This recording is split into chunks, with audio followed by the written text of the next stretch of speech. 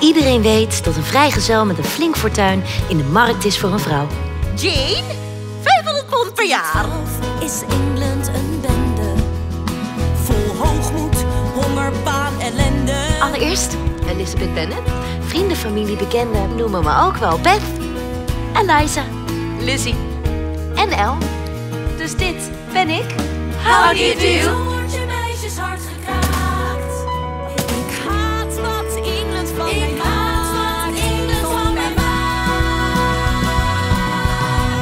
Mijn love story. Over hoe Elizabeth Bennet leerde houden van de meest onuitstaanbaar, trotse en vooringenomen persoon ooit. En hou je bek. Word langzaam gek in Elizabeth's Engeland. Trek je luifeloertje maar vast. Dit wordt een wilde rit.